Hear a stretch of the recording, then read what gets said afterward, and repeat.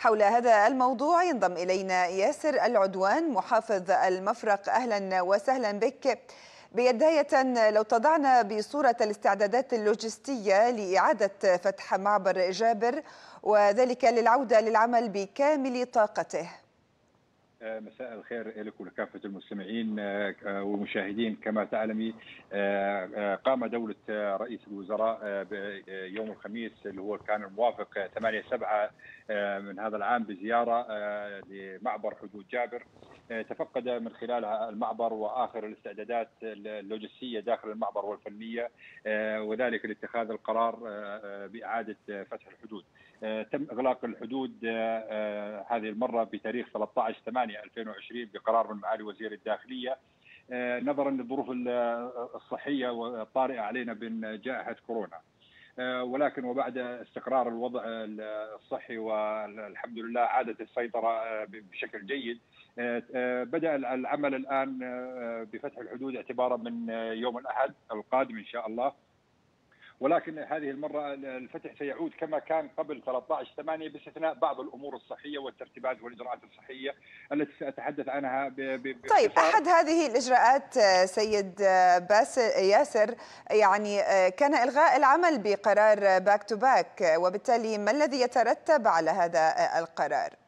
هو قبل تاريخ 13 8 لم يكن هناك معمول بنظام ال back to back ولكن اعتبارا من تاريخ يوم الأحد سنعود إلى ما كنا عليه بالسابق ولكن سيكون هذا القرار العمل ال back to back هو اختياري وليس إجباري على كافة الشاحنات، من يرغب بالمغادرة باتجاه الجانب السوري أو من الجانب السوري باتجاه دول الخليج أصبح الآن مصرح له ومن يرغب بإجراء عملية ال back to back داخل الحدود الأردنية داخل حدود جابر أيضا مسموح بها. نعم. طيب كيف تتوقع أن تكون حركة المغادرة اليومية للأشخاص بمركز جابر؟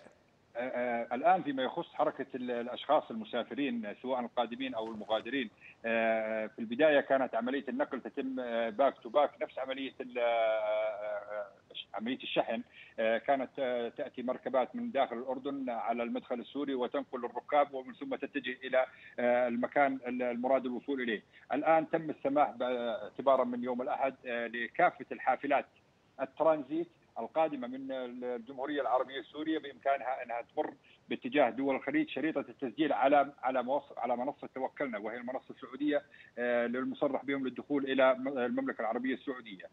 نعم وبدون التسجيل على المنصة بدون التسجيل على المنصة الأردنية يعني الحافلات الترانزيت بإمكانها تتوجه باتجاه دول الخليج بدون التسجيل على المنصة وأيضا الشاحنات الترانزيت بإمكانها الذهاب باتجاه دول الخليج بدون التسجيل على المنصة.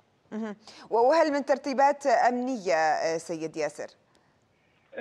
فيما يخص الترتيبات الأمنية بالرغم من إعادة الفتح التي لم تتم إلا بعد إعادة تهيئة المعبر لوجستيا وفنيا وصحيا. أيضا سيكون هناك تشديد أمني على كافة القادمين سواء المسافرين أو الشحن. وأيضا لدينا من كافة المرتبات العاملة داخل الحدود ستقوم بتطبيق كافة الإجراءات الأمنية والجمركية التي تضمن أمن وسلامة المملكة الأردنية الهاشمية. طيب العمل المبدئي بمركز حدود جابر يعني تقريبا بمعدل 100 مركبة سفريات خارجية يوميا ولكن متى من الممكن العمل بطاقة قصوى؟ في الوقت الحالي هي عبارة عن تجربة سنستمر بها إلى أن نرى مدى الالتزام ومدى الالتزام في الإجراءات الصحية. لدينا الآن منصة سنقوم بتزويدكم بالرابط الإلكتروني اللي هي فيزيت جوردن ولكن هذه منصة خاصة بسائقي حدود بسائقي سفريات حدود جابر.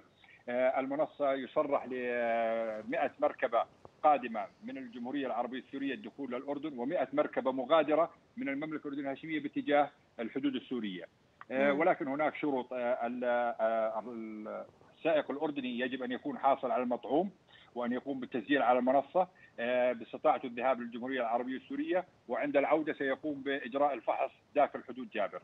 أما فيما يخص القادم من سوريا وهو سائق السفريات السوري فيجب عليه إحضار فحص PCR قبل قبل 72 ساعة وأيضا إجراء الفحص داخل الحدود الأردنية ولكن هناك لا يتم ال 100 مركبة سيكون هناك تحديد كل سائق مركبة سيكون له الحق باستخدام المنصة كل أربعة أيام مرة واحدة لنتيح الفرصة لكافة سائقي السفريات العاملين على المركز على الحدود الأردنية السورية بالعمل بانتظام.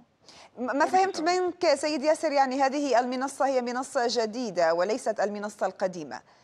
أي نعم هي خاصة بسفريات حدود جابر. امم طيب يعني لو لو تزودنا بالعنوان يعني سيد ياسر من أجل يعني يعني نعم التسجيل والاطلاع على الإجراءات. شكرا جزيلا لك ياسر العدوان محافظ المفرق.